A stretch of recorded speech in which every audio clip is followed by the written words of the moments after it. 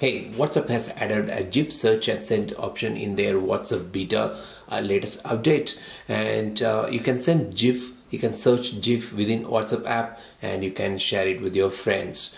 And how it there, how it is done? Let me show you in this video. But before that, please note that this option is available only for the beta version of the WhatsApp. So in case you have not joined the beta program of the WhatsApp, uh, head to the WhatsApp.com website, and you can enroll yourself for the beta program and now let me show you how to use this.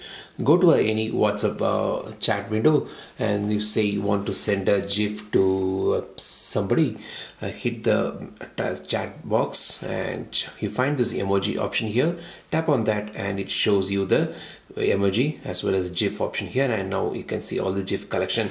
And you can also uh, search within the gif collections. Say I say LOL and it shows all the related emojis here.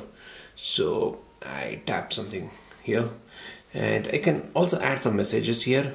Say haha and then I can send the person the GIF. So GIF is being sent and when the person sees it looks like this so this is how you send the GIF in the latest WhatsApp beta. So you can have a lot of fun adding a GIF to your conversation and it allows you to uh, search the GIF within the WhatsApp chat. So uh, hope you enjoyed this tip and don't forget to subscribe to my channel.